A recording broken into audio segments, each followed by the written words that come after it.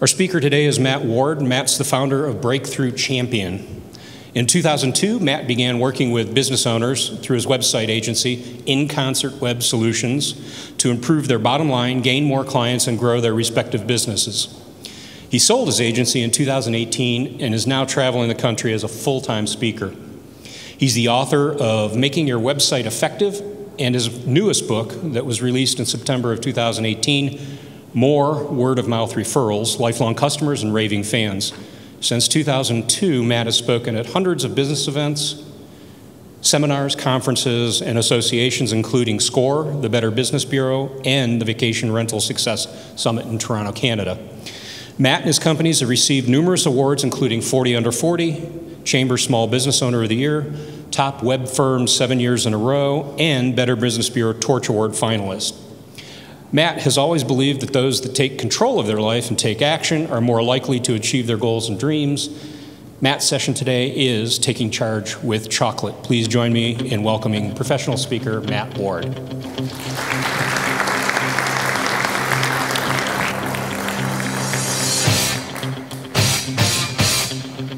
All right. We're doing high fives. Let's go.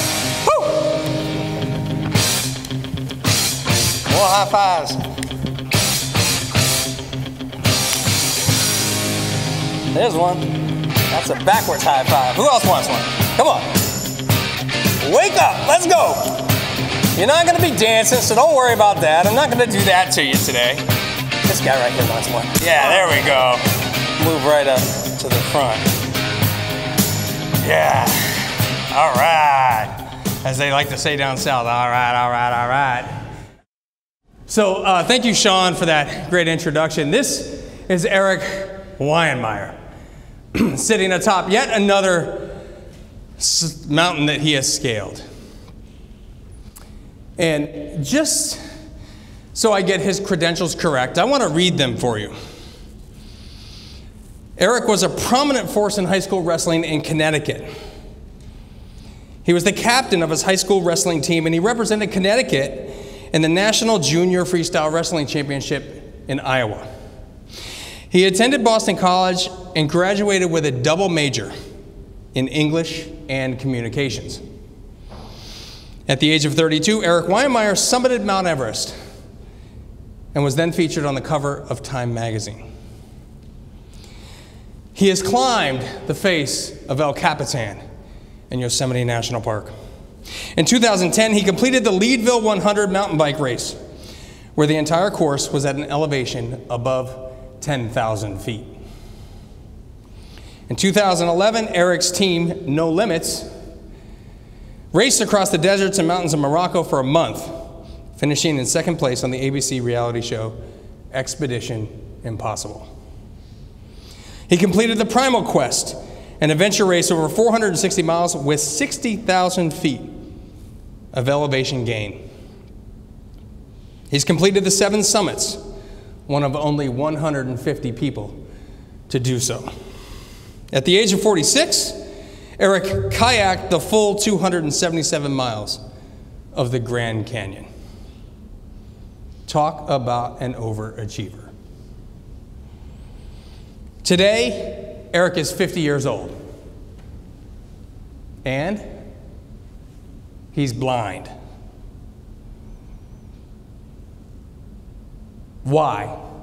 Why did Erik do all of that? Not because he woke up one day and said, I'm going to climb Mount Everest, but because he's passionate. He's passionate about the outdoors, and he's passionate about pushing himself to greater limits.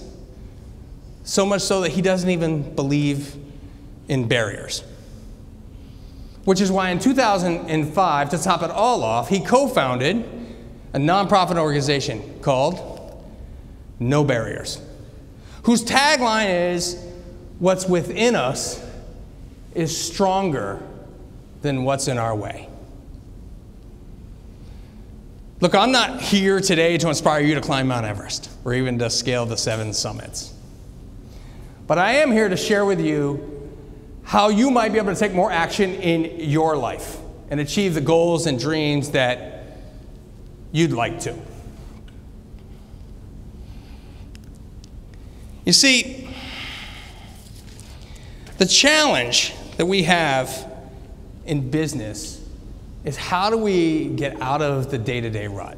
And you guys, you folks here at the Federal Milk Market Administration, I know I got that right, and specifically the Northeast Market area, got that right too, which, by the way, is where I've lived most of my life.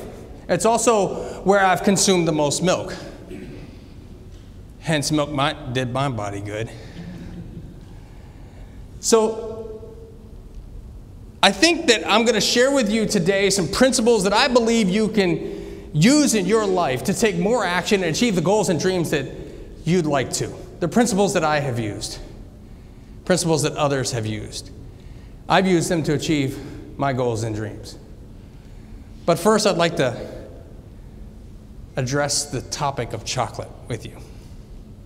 Chocolate comes in all forms and shapes and sizes. You guys know this because you work in the industry that supplies the necessary ingredients to the world of chocolate.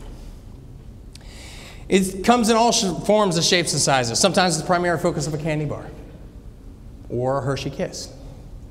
Sometimes it's much more subtle, like the topping on your ice cream cone.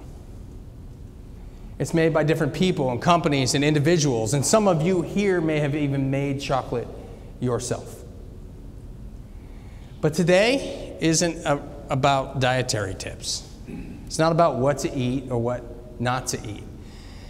Today is about taking charge with chocolate. You see, too often in our lives, we, we take the little things for granted.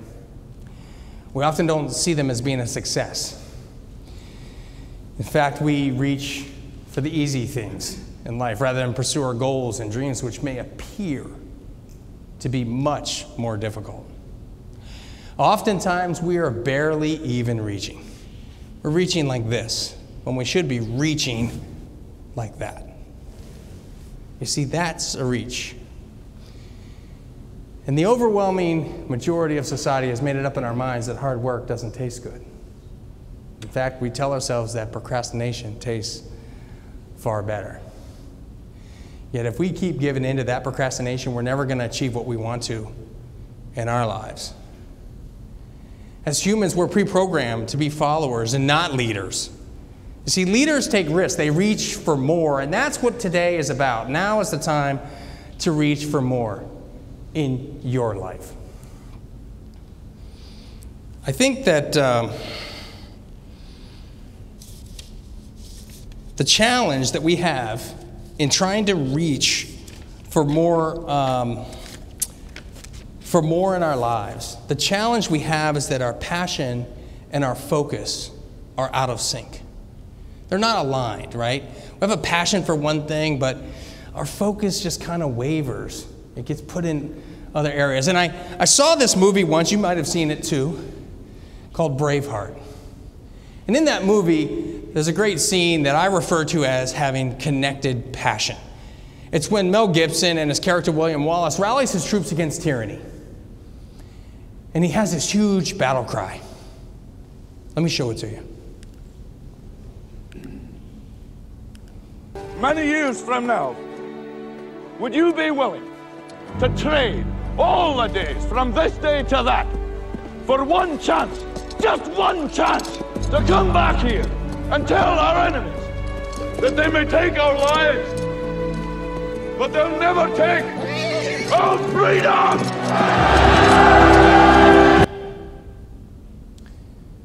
Can you feel that? Can you feel that connected passion when he gets up there on that horse and says, You can take our lives, but you cannot take our freedom? Have you ever been that passionate about something in your life? A hobby, a job, a family friend, a colleague, a travel trip? I have. For years, I was incredibly passionate about coaching football. I played football in high school, and I love the game. And as I got older, I decided I wanted to teach youth how to play the game. So I taught youth football for 11 years. I taught ages 9 and 10, roughly, for most of those years. But I also coached semi pro football.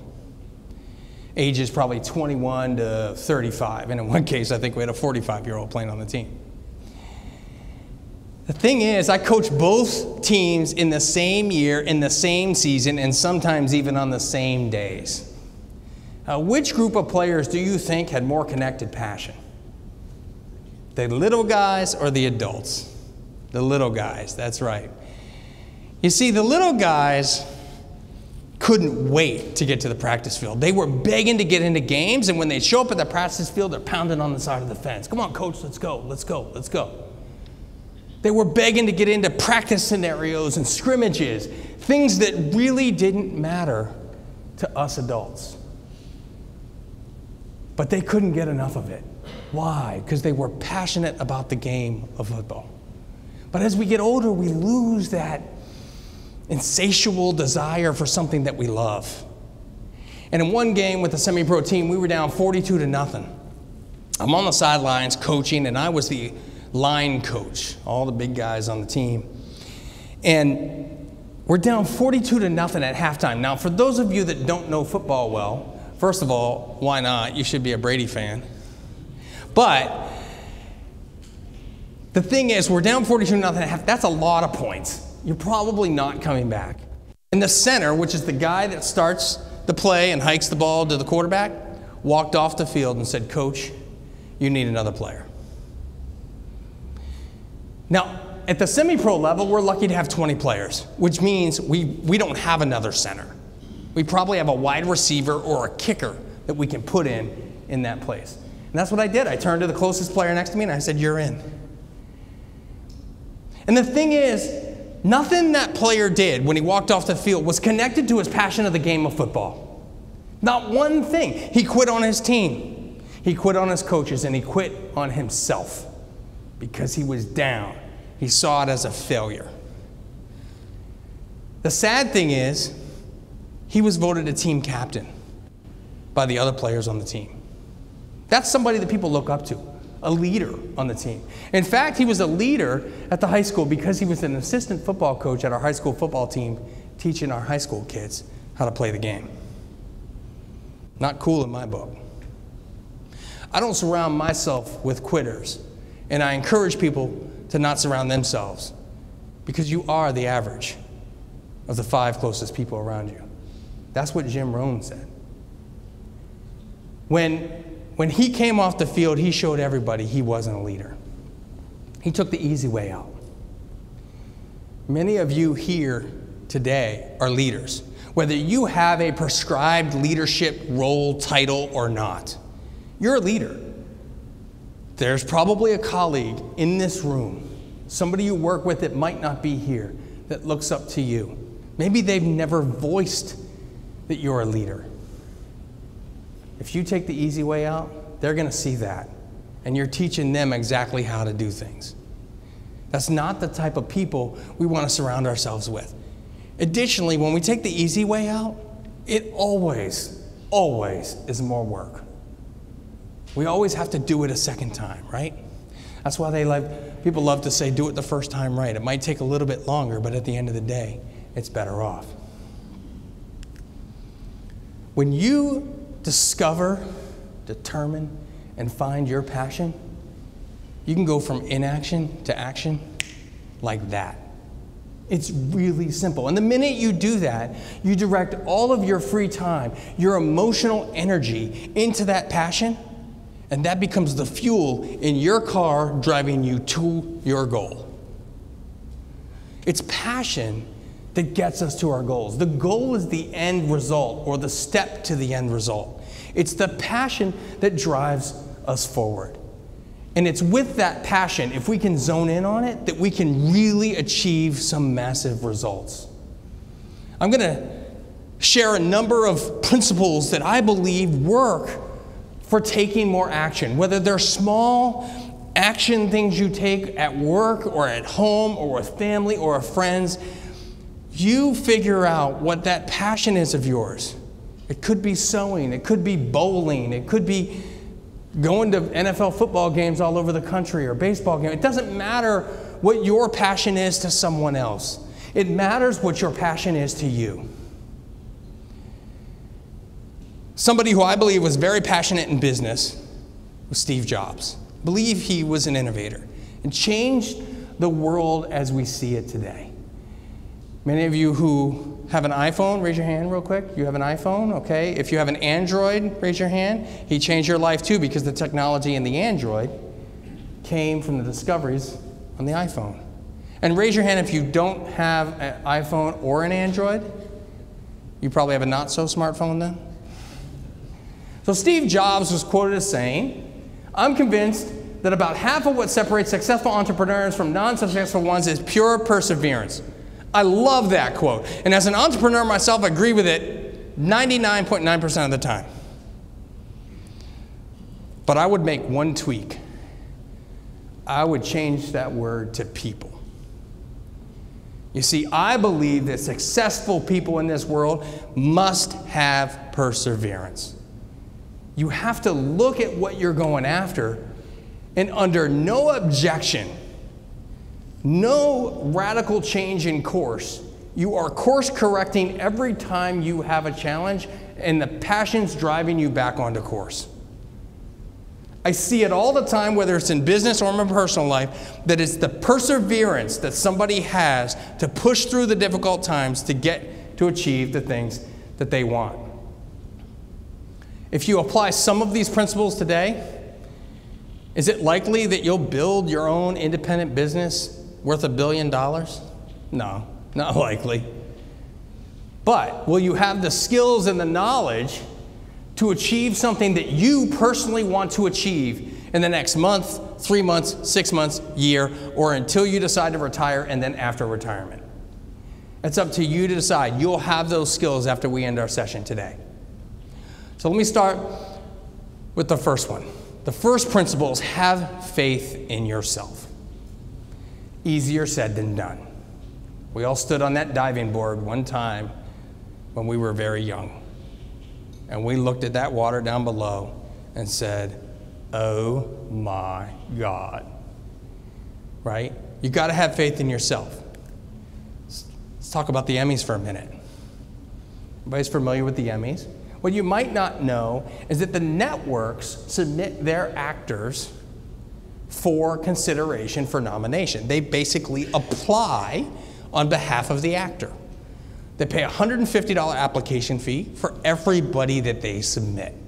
And they submit hundreds of them, right? Lots of them. All the major actors, and then all the supporting people, and then all the people behind the scenes. They submit tons of these applications unless it was this year and it was Game of Thrones. For whatever reason, HBO did not submit all the supporting actors. And so a number of them, including Gwendoline Christie, said, But wait a second. I'm, I'm good enough, I think. I have faith in myself. I deserve a nomination. I maybe even deserve to win an Emmy. So at least five supporting actors of Game of Thrones got together and said, you know what, let's submit ourselves. We'll fill out the application ourselves. We'll pay the $150 fee. And the people that issued the nominations gave nominations to three, to three of them Gwendoline Christie, Alfie Allen, and Carice Van Houten. Now, if you were in their shoes, would you have just stood there and said, wait a second, I just got slighted by my own network for one of the best shows in the history of miniseries, and I'm pissed. What do you do about that? Most people wouldn't even apply themselves because it's the responsibility of the network to pay the $150 fee. But instead, they believed in themselves so much that they applied that. If you believe in yourself, if you have faith in yourself, in what you're trying to do, then you'll do it. It's an interesting uh, dichotomy here that as I travel the country as a professional speaker, a lot of people come up to me afterwards and go, I can't believe you just did that. I could never get up there. To the point where the National Association recently sold t shirts at the conference that said, your biggest fear is how I make my living. It's like a running joke in the industry. But if you think for a minute that we don't have our own inner critic, our own self doubt, can I do this? Can I pull this off? We wake up every day wondering if we're going to do a good job. We're no different than you folks in the job that you do. It's just a matter of building up that muscle of having more faith and pushing that inner critic aside. The inner critic has no place in your life and is the person that will limit your ability to take action and reach your goals. Kill the inner critic. Kill the inner critic. The next one is break up big goals into smaller goals. And I think many of you might know the story of Walt Disney, but I'm going to share it with you for those that don't. Walt Disney built Disneyland. And he woke up one day and said, Well, this isn't what I wanted because he looked out just past the boundaries of Disneyland and realized all these other establishments were opening up. There are a bunch of low end fast food restaurants and bars. It's not the environment he thought he could build with Disneyland. So he started out on a mission to find a huge amount of acreage in the country. And they landed upon Orlando, Florida. And one of the first lots they bought, they bought under a fictitious name. It was two initials and a last name M period T period L O T T. Lot. Empty lot bought an empty lot. Over time, through all these different names, they acquired 30,000 acres, about 25% of which is currently developed. Because they wanted that buffer. But he knew he couldn't walk in and buy 30,000 acres because all of a sudden the price would go up and he wouldn't be able to afford it. So if he buys it one parcel at a time, 10 acres at a time, 30 acres at a time, 100 acres at a time, he can get to 30,000 rather quickly. The actual last 3,000 acres cost quite a bit more than the per acre price that he had paid before that because word had gotten out. So if you break up your bigger goals into smaller goals, smaller chunks that are much more achievable, then you can do that. For instance, in the speaking world, if we talk about a 60 minute talk, we break it up into five minute chunks, right? We write the five minute chunk, we practice the five minute chunk, we break it up. You don't write a 60 minute speech and then expect to show up the next day and deliver it. So you have to break up your bigger goals into smaller chunks. Know the negative results of inaction. Sounds pretty simple. But I think sometimes we don't actually think about what could happen if I fail to take action. This is my friend Matt Landry. That's his son Jagger. Matt owns a landscaping company, and it's not too far off the highway. And one day he got a phone call from a contact of his that had run out of gas. Anybody here ever run out of gas? Yeah? So Matt goes to help the stranded motorists out, and uh, they're sitting there. They're all frustrated. They're embarrassed, red faced, you know. But luckily, had someone to call, and they had called Matt. This is kind of what they look like. Now, that's an iStock photo. That's a copyright free image. That's not the real family. That looks like it's in Arizona, not New England. Um, the problem was is I couldn't take a picture of myself. I was the fool that ran out of gas. And that's the moment I realized that you need to know the negative results of inaction. It's not fun to sit on the side of the road, call AAA, call your friend, then have your friend post it on Facebook. Like, you're, you know, it's embarrassing, right? But that lesson of running out of gas means I never run out of gas ever again and I actually think about what will happen if I failure to ta- fail to take action in the specific thing I'm trying to achieve. So, if your goal is to hike up Mount Washington one day, if you fail to do the work necessary to get your body in shape to hike up Mount Washington, then the negative results are you're not going to you're going to get hurt doing it. You might get stranded. People might have to carry you out. Those are the things I think about when I talk about how I take action in my life. When I set up a new company, what happens if I don't do this, this, or this?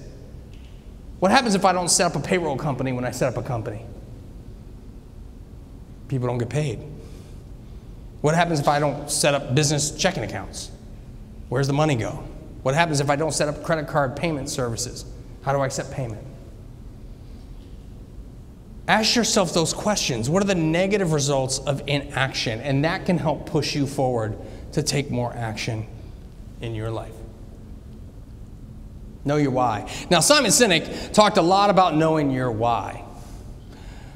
But I think that it's a lot harder when you're sitting there at a desk trying to think, well, well, what's my why? Why am I here on this earth? That's not what I'm talking about.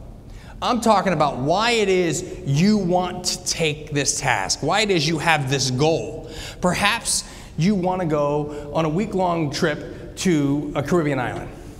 Great. Why? Because I want a vacation. Why do I want a vacation? Because I'm stressed.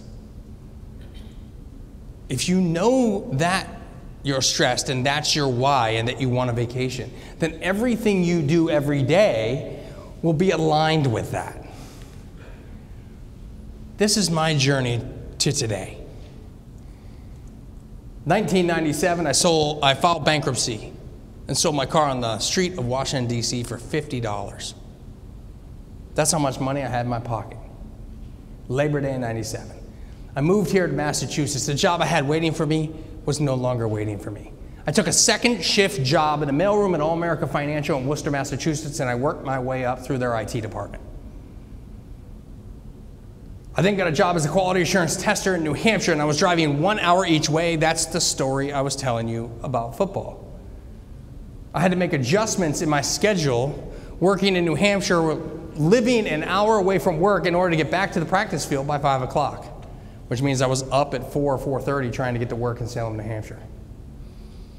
In 2008, I was running my web company for over 16 years. In 2008, I really started putting the pedal down on speaking. I was speaking for what we call business development. I speak for free, tell everybody how to build websites, tell people how to do digital marketing, email marketing, and I did a lot of email marketing seminars with the organization called Constant Contact. I was their number three partner in the country because I went out and spoke publicly about their tool and taught people how to do it. And I said, This is my dream. This is what I want to do. And I set myself on a path, and 10 years later, I sold my website agency, and the next day became a full time speaker. Are your goals and dreams going to be achieved in one year or two years? It depends on what they are. Mine took 10. And actually, when you roll it back, it took 20. And if you asked me on Labor Day in 97 when I moved here, I would have said there's no way I'd be a professional speaker. But once I discovered it, like I said earlier, once I determined what I wanted to do, then every single thing I did was applied to that. There were times where I made huge sacrifices. I was working a job and I'd work until three in the morning on this side of my business, writing scripts and talking to people and understanding what people need and want and trying to get those next events. It takes a while to achieve some of these things. But that's my why. My why was I wanted to work for myself, not for anybody else. My why was that I wanted to be independent. My why was that I wanted to travel. And I am so blessed that I get to do that now, and I love every minute of it. Be independent. When I talk about being independent, I'm talking about your thoughts. Your thoughts about independence. Like, get assistance from other people. That's of, of huge value. But when you're independent, you're taking ideas. I used to call it the bucket when I was a head coach in football. We'd have this like imaginary five gallon Home Depot bucket with no lid on it. And all my assistant coaches We're permitted and encouraged to put ideas in there. But it was my job to pull out the idea that I wanted. That's the independence I'm talking about. Surround yourself with positive people, but make the independent decisions yourself. When you are independent, it breeds action. When you are dependent, you're reliable on other people. You're relying on other people to get things done for you. And that usually, usually is a recipe for disaster because they won't move as quickly as you. They won't do things as effectively as you. Why? Because they don't have the same passion you have. They don't have the why that you have, and you can't make them have that. So make sure you're making your own decisions when it comes to taking action, to the ideas that you're pushing forward. Be independent. Know your weakness and address them. For me, my weakness is starting projects. I'm a white, shiny object guy. Oh, squirrel, right? So I start all these projects and I don't finish a single one of them. Not one project have I ever finished myself. So, how, how do I address that? I address it by surrounding myself with like minded people who can help me achieve my goals. Decisions I can make by being independent and then assigning tasks to other people to get the project to completion. This is Mark Smith. I met Mark in a networking group in 2005. In 2007, he joined my company as my general manager. He worked for peanuts. And I mean, literally, I would bring him in bags of Southwest peanuts. Now, he worked for peanuts. He took a risk on me and my digital marketing agency. At the time, he was my seventh employee I hired. He stayed with me 11 years, became my general manager, and COO, basically. He controlled all the books in my company because I was horrible at that. That was a weakness of mine. And anytime I wanted a project completed, he'd make sure it got done. In 2018, when I sold my agency, my digital marketing agency, I sold it to Mark. Best fit for the company, best fit for me, best fit for him. But Mark was my accountability partner. He was the person that made sure that certain things got done, that I remained on task. He knew what my passion was. And he would walk into my office one day and say, Hey, what are you doing today to move the ball forward on that passion of yours? Have you called anybody about speaking? Have you made any sales? Because sales in the digital marketing agency fed other things. They allowed me more time off, they allowed me to do more speaking if you can have somebody who is a confidant, who is your accountability partner, they will hold your feet to the fire and you will give them permission to do so. That's the most powerful angle of that. We had to work with Mark to make sure that he was comfortable telling me, hey, you got to do these things, because that was a big deal to him. The one thing I suggest, though, is that your accountability partner is not your significant other or your spouse. That can be a challenge. So I would not encourage that. Visualize your end result. This is what people do. High end athletes sit in their hotel rooms the night before a competition and they visualize what's going on. I visualize all my speeches. I think about them. I think about the best case scenario, the worst case scenario. I visualize everything. And so did the Chicago State basketball team. They were having trouble with their free throws. That's when you stand at the foul line and you shoot two or three shots. They had a very dismal free throw rate, and they needed to raise that rate. So they divided the team into groups. In one group, they said, No practice at all. We want to see what happens. Another group, they said, we just want you to visualize. Don't even bounce the ball physically. We just want you to visualize over this test period of time you making actual free throw shots. The group that did the no practice group had a 0% increase in their free throw shots. And the group that was assigned to visualize, 23% improvement. Do you see what it would look like for you to have success in your goals and your dreams, the things that you want to achieve? Do you ever picture yourself on that island in Tahiti, on that sailboat traveling around the world, on that airplane flying to the Grand Canyon? Whatever it is that your dream is, making the biggest wedding cake of all because that's what you do on the side.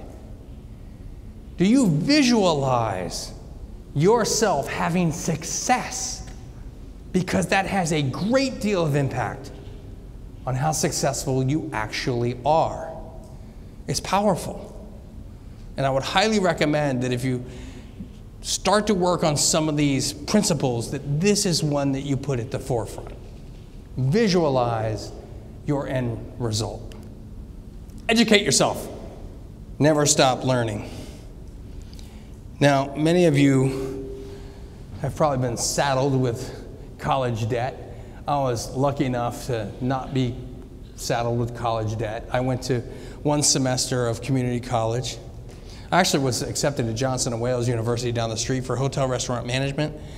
I didn't go because I thought, eh, I'll probably be in too much debt if I graduated in four years. Who knew at that time I was actually thinking about debt, right? And I went to hotel restaurant in Northern Virginia Community College in Leesburg, Virginia, Sterling, Virginia, and um, I did one semester and I dropped out because I was like, it's a it's a telltale sign when you fail broccoli and cheese sauce class, like you just can't cook, and so now it's like, okay, this is not my career of choice, clearly. So I gave it up. But I never stopped learning. I ended up getting a, a degree, in Master of Learning New Things from University of Google. That's completely fake. How do I know that? I have the t-shirt to prove it. I literally have a t-shirt that says property at Google University. The thing is, I've always learned how to figure out things on my own. I really did use Google to grow every business I've ever had. I have an insatiable desire to learn new things. I taught myself how to code using Google. I taught myself how to run a business using Google and friends. I got into these CEO mastermind groups. I talked to people, learn what they're doing. What mistakes are they making? How can I not make the same mistakes? I learned how to do a YouTube channel. I put up YouTubes every week on my YouTube channel. It's crazy. And you know what? Half of them suck. But I don't care because I learned how to do it. Right? I, and, and, do I love doing it? Not at 11 o'clock on Friday night when it's supposed to go out at 3 in the morning on Saturday. No, I don't love always doing it. But I'm passionate about speaking. And if you're a professional speaker, you got to have a YouTube channel. At least that's what they tell me. I don't know how effective it is, but I've learned it. I learned how to do a podcast with my good buddy Dan Candell, who's a board certified uh, hypnotist. Goes around and does stage hypnosis shows. And we had a great banter. We did over a year podcast. The SPRH stands for Square Peg Round Hole. We help small business owners take massive action because we felt that most small business owners worked in the corporate world, felt like the square peg in the round hole. So they left and started their own company, and now they go, oh, now what do I do? How do I do payroll? How do I do this? So we had all, all kinds of guests on to talk about that. And we learned how to podcast. And I read books, I read business books. This is one of the best books I've ever read in my entire life. It's by Keith Ferrazzi called Never Eat Alone. Now, if you look at me, if you stare real, real close, you can probably see I don't eat alone. No, I'm kidding. The book does have a section in it where it talks about using meals to build relationships. Hence the title, Never Eat Alone. I actually took something different from that book. You see, that book taught me to give without the expectation of getting anything in return. That is a skill and something I consider now a gift. I love sharing knowledge with people, giving with people without the expectation of getting anything in return. It's a muscle you build up over time. And a lot of times we will give something, and then we'll say, but wait, when's my turn? And that muscle goes away eventually after you practice some of the things that are in this book. Highly recommend it. No matter what you do, never stop learning. You can listen to podcasts of your choice about the thing you're passionate about. There's a podcast for everything out there. They're all free on your phone, on the way to work. What I call NAT, N A T, no added time. Instead, what we're often listening to is talk radio, or we're listening to music on the way to work. But I would argue if you're really truly passionate about taking that action in your life and achieving that goal that you want, that you might actually listen to something that will help you achieve that in the time that you have.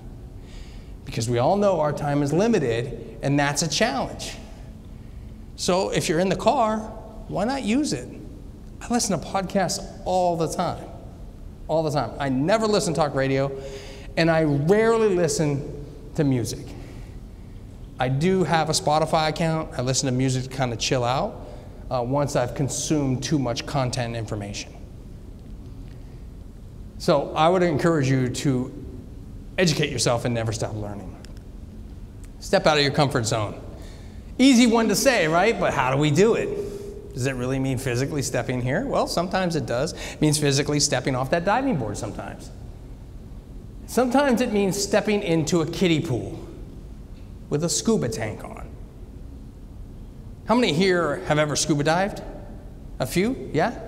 So I don't know if you felt the way I did, but I did one of those Groupons in 2013, so I wasn't sure if the tanks were even going to work. I did it at the MIT pool. That is the MIT pool. That's my wonderful girlfriend, Lisa. That is me on the right with hair. And we're in like the low, shallow end of the MIT pool, literally grasping each other, wondering if we're going to be able to breathe. It was the only thought we had when we attempted to learn how to scuba dive. How on earth can you go underwater? And yet you see movies, you see people, you know that this happens, but you don't know how it feels like. You don't know what the the mask is going to feel like? Is it claustrophobic? Everybody's worried about being claustrophobic. I won't do that. It's claustrophobic. But we did it. We couldn't be happier we did it. We learned how to do that, and then we did some, some what they call resort dives at these vacation places where you just rent them for the day. They give you a little crash course and they go with you, type of thing. And then in 2017, we went to St. Thomas a month before the hurricane hit. This is Turtle Cove. That turtle is the size of your table. It's huge. Comes up for air, has eight lungs, gets the air, goes down, it's down for like five minutes. It's amazing. The most majestic thing I've ever seen is all that the fish, the, the, the coral, the turtle, the sharks. It's the one thing everybody worries about. Oh, I'm gonna scuba dive, I'm gonna get eaten by a shark. Not true, but okay. At this point, we're not really holding hands anymore. It's four years later. We're just trying to balance ourselves with our hands, right? And then in 2018, we went to Grand Cayman last summer. And we went to swim with the stingrays.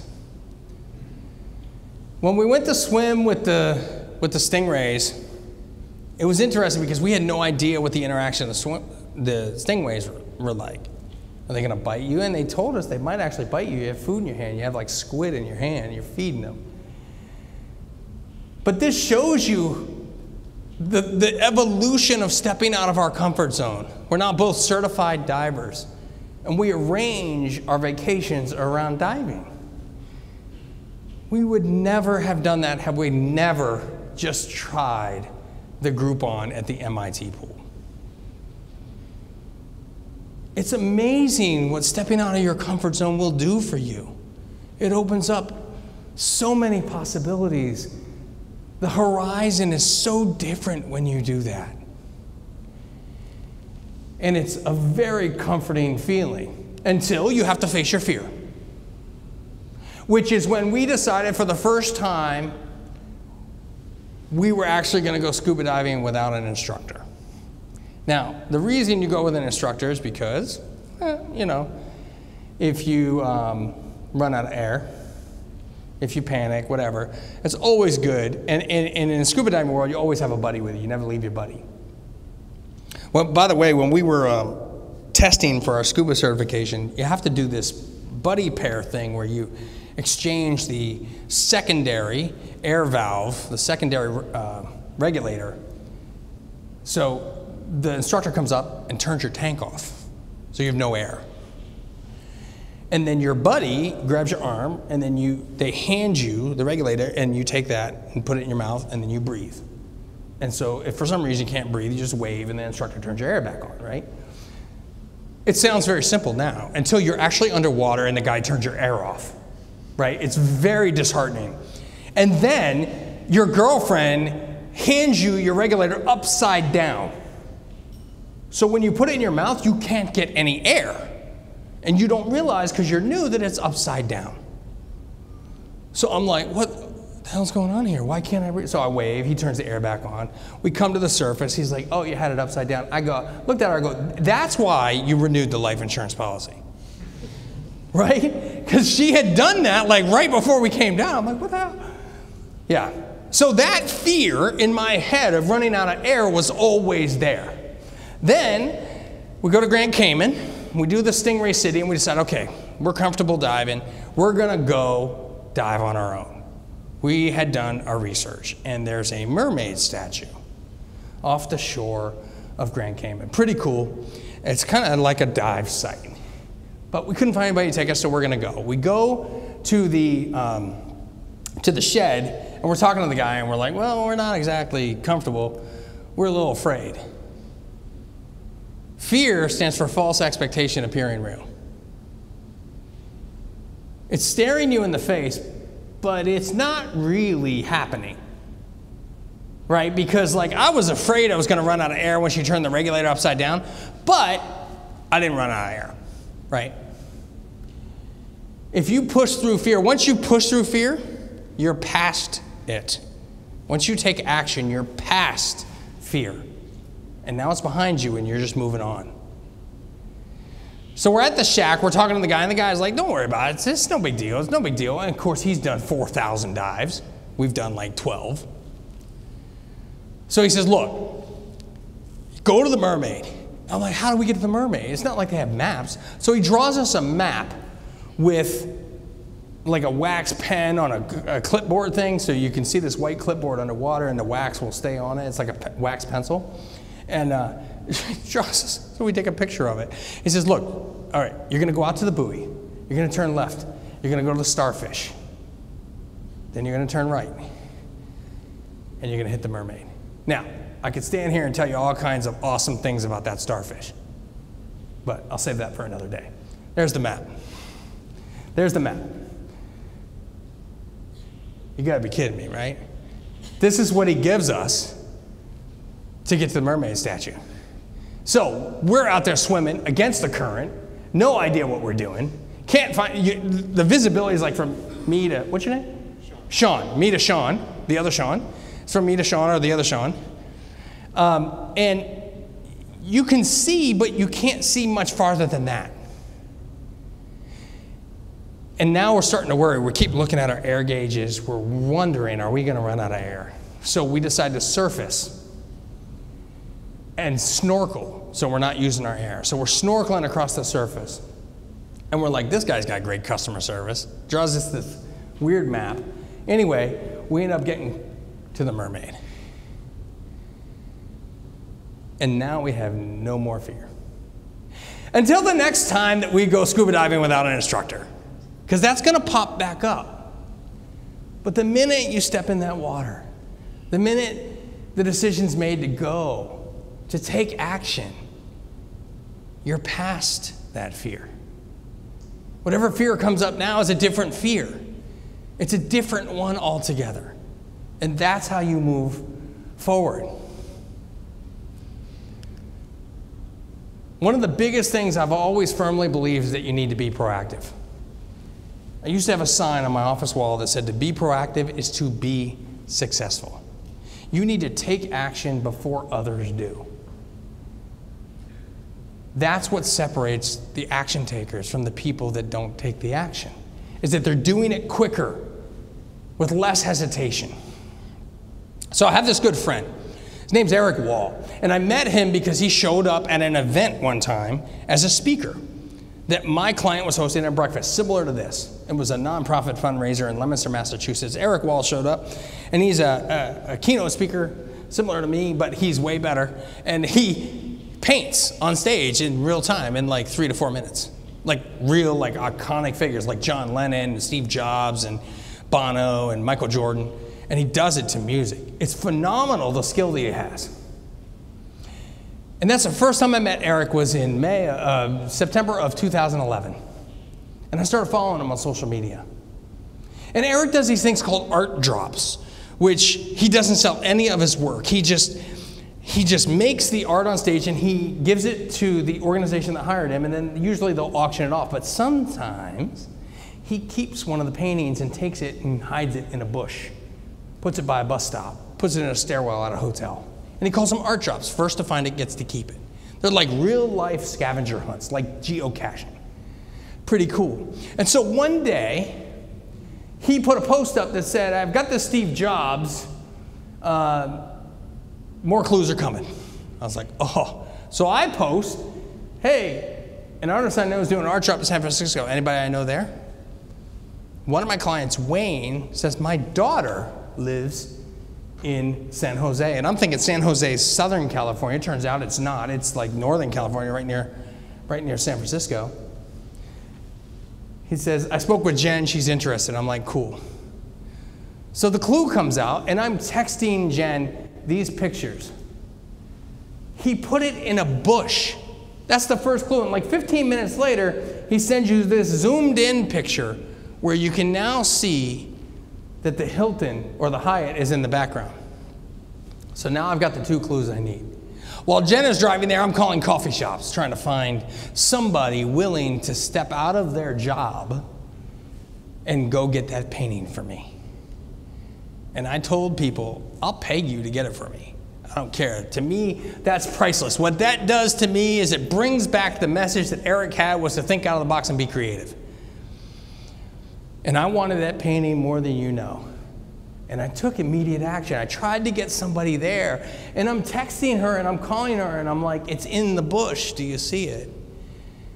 And she's like, no, I don't see it. And so I send her another message and she calls me back.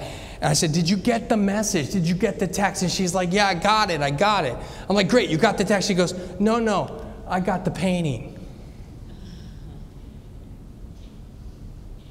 That Steve Jobs was the very first art drop I ever participated in with Erik Wahl.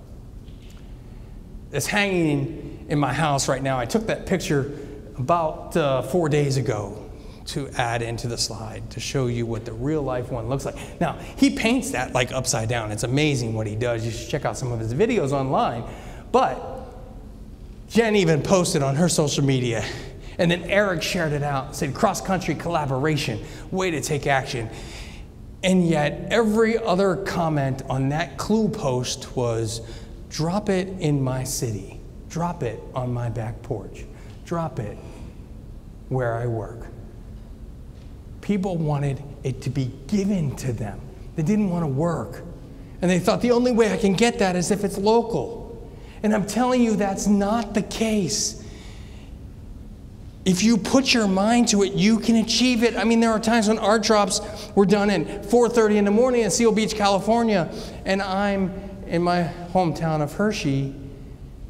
It's 7:30. I see an art drop. Marilyn Monroe sitting on the ledge of a movie theater. I'm trying to figure out where is this place. I'm googling. I'm looking at Google um, uh, Google Maps, Google Earth, like live pictures that they took, and I can't call a coffee shop and I get a girl on the phone and and I said, I'll give you 200 bucks if you go get it, but you gotta text me a picture that you got it so I can prove it. I'll PayPal you the money right now. Then you just take it to UPS, I'll pay for the shipping. She's like, all right, no problem. She goes across the street, she gets to Marilyn Monroe. That's my second one. My girlfriend and I are so good at taking action with Erik Wahl paintings, he calls me the art drop sniper. To the point when Random House published his book, they actually told him, You got to tell him to stop. It looks rigged. He's like, I'm not doing that. The guy takes action. I do take action, along with my girlfriend, who's my co pilot in finding these paintings. The only one we ever found in person was a Tom Brady painting on wood down in the waterfront of Boston. And I had an idea that Erik was in town because he posted a clue and he said, I'm going to be posting something later on tonight. And so we started figuring out where does Erik stay? Well, we knew from taking action before he pretty much stayed at Renaissance hotels, but no guarantee. We started calling all the hotels in Boston that were Renaissance. And we said, Can we speak with Erik Wahl? No guest by that name, no guest by that name, no guest. Sure, hold one minute. Hung up the phone. Now we know what hotel he's at. We go down there. There's Erik walking out of the hotel with a Tom Brady in his arm. So we coordinate. Erik locks it up with a bike lock, puts it on the railing behind Jerry Remy's on the waterfront. We need a code. Tom Brady's passing yards from one year minus Tom Brady's passing yards from another year. I call my buddy in Minnesota. He can't answer the phone because his daughter was sledding and now she's in the ER. And I told Per Berger, come on, dude. Instead of getting the code, we ripped the cable off the back of the board. And that was our third painting. We're really good at this. Really good. Because we take action quicker than other people take action. That's all it comes down to. We're passionate about that art. It's amazing. You can't buy it anywhere. I think I've got 11 paintings now in total. I've got Einstein. I've got all kinds. Yeah, there's Einstein in there it, all this art decorates my house. I love looking at it. It helps me be more creative. He doesn't do art drops very much anymore. That was a thing of the past. But I am the most prolific art drop hunter in the country. And something I can brag about and talk about in my, in my talks. It's how I learned to take action quickly and be even more proactive than I already was. Don't wait for something to happen to you. Make sure you are, in fact, proactive. Make sure you accept failure. That's hard to do, but if you can accept failure, you can really build something great. Now, I had a conversation earlier uh, with Sean, but taking charge of chocolate, you might wonder, well, what's that all about? I'm originally from Hershey, Pennsylvania. Some of you have been there before. Yes, you know that. You raise your hand if you've been there before. Yeah. Oh, wow, a lot of you, right? That's like 60, 70%. That's awesome. Maybe you went there for work to meet with the Hershey Foods Company, or maybe you went to go to the park or to stay in the five star hotel. Um, or maybe you went to see the streetlights are wrapped in unwrapped Hershey Kisses. Pretty cool.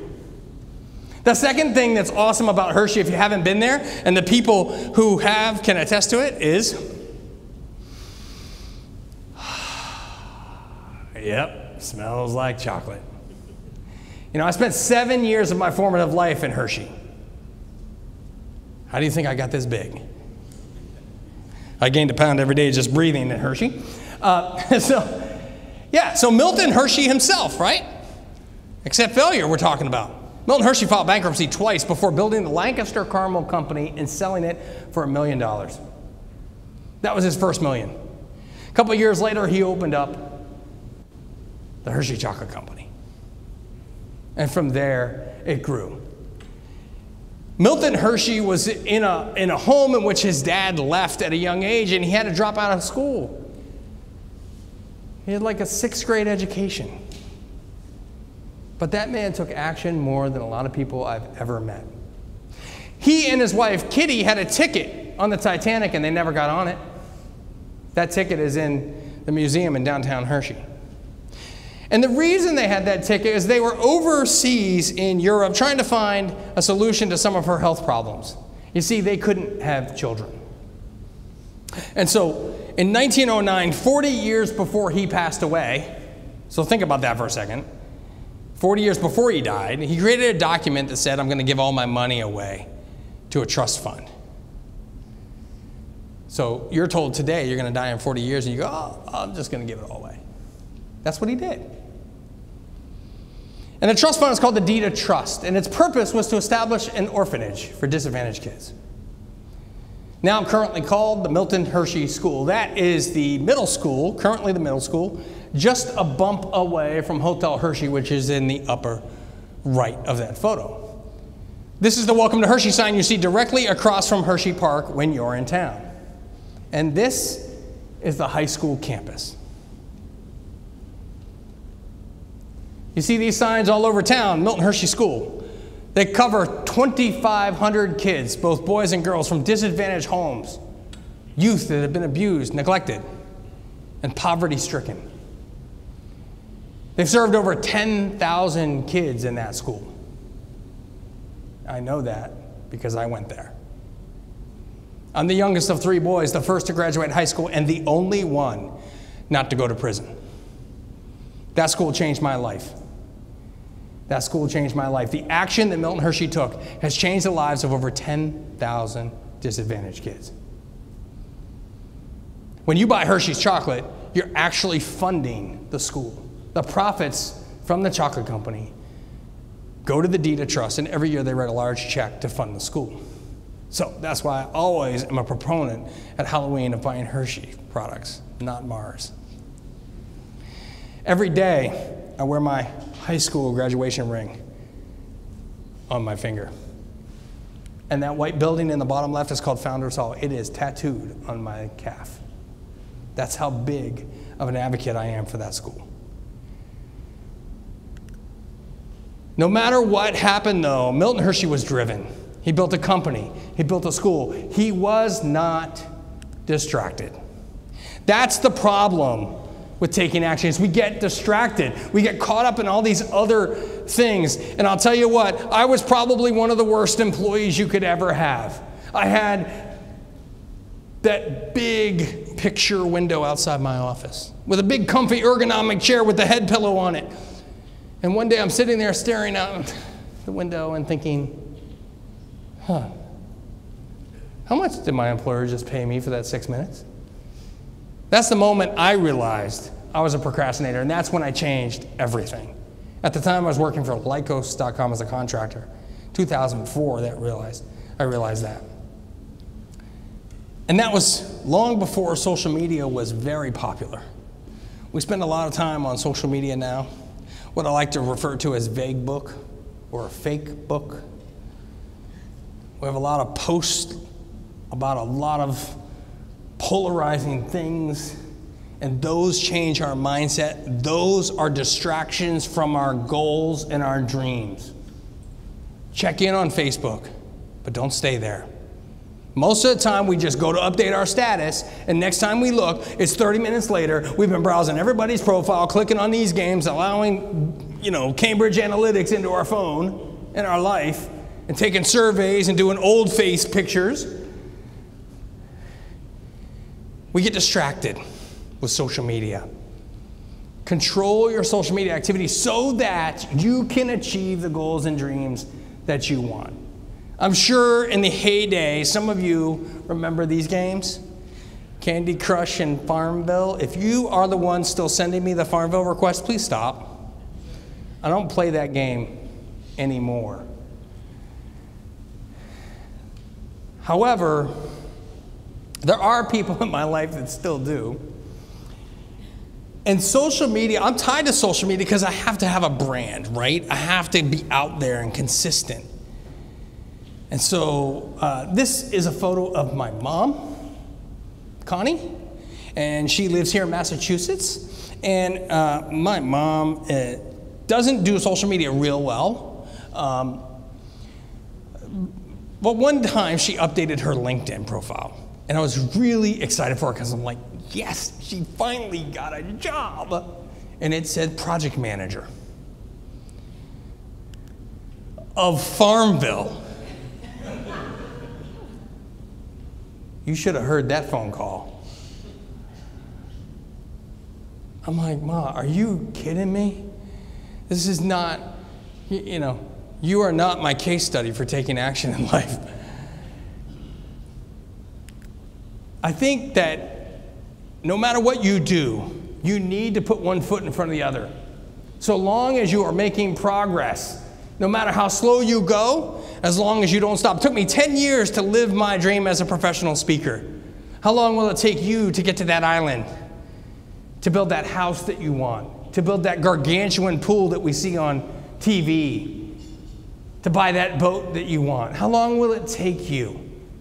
Sometimes it doesn't matter how long, as long as you're making progress toward it. That's one of the keys. I believe firmly, as Steve Jobs does, that you have to trust in something your gut, destiny, life, karma, whatever it is.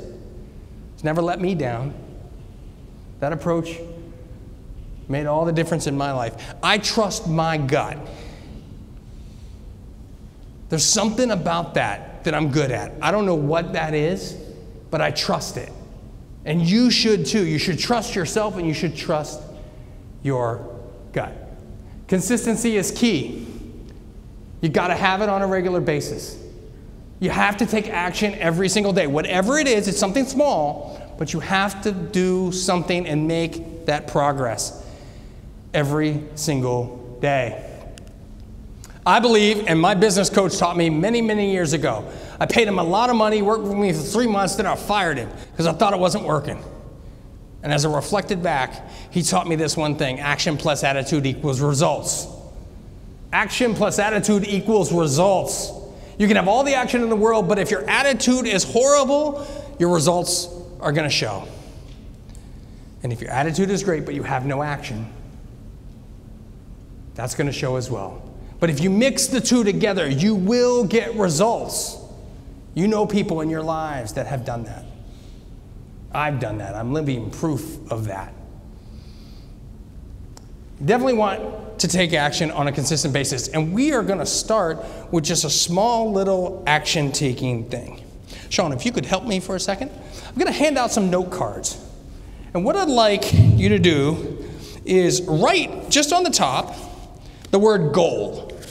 Just, just write on the top the word goal and and then we're going to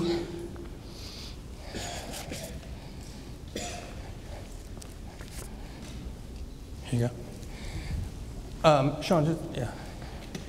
All right. So you're just going to write on the top goal. And then I want you to take just one minute, just one short minute, because I know by this time you've been thinking, I got that one thing I got to get done. This guy is up here talking about all this action and I got to take that action, that thing that I've been procrastinating on. That one thing, right? Donovan?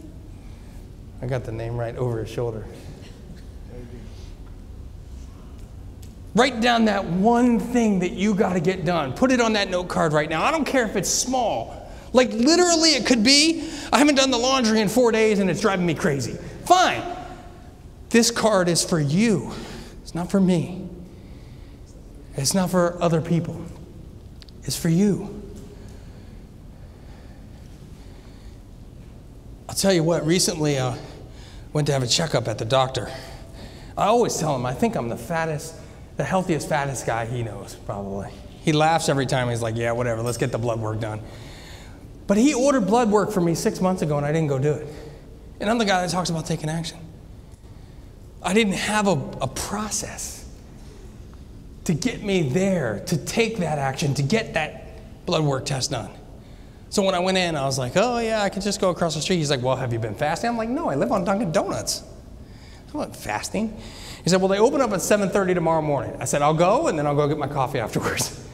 And I did it, right? But it's one of those things that's like, it has to piss you off that you haven't done it. I call that negative passion.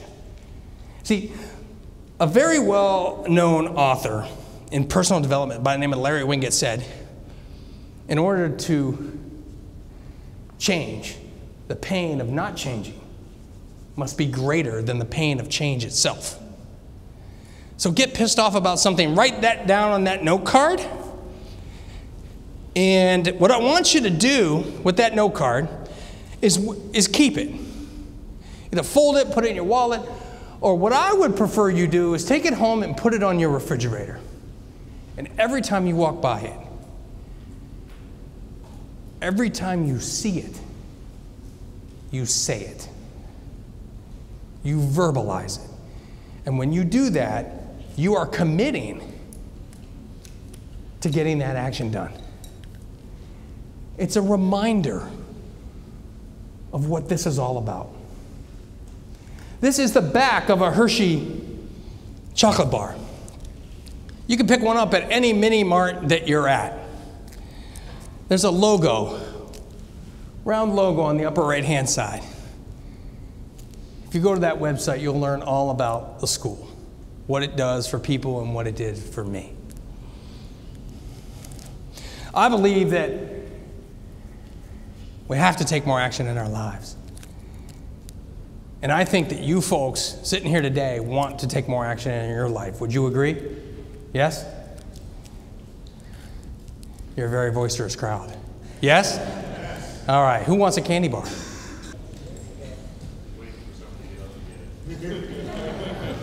What is your name? Amy Huber. Amy, Amy, stand right here. Amy. Can we have a, a nice round of applause for Amy? Now, listen, I want to be clear about something. Intention is not taking action. Sometimes when you take a risk, it pays more than what you thought it would. Sometimes Oh it pays to take a risk.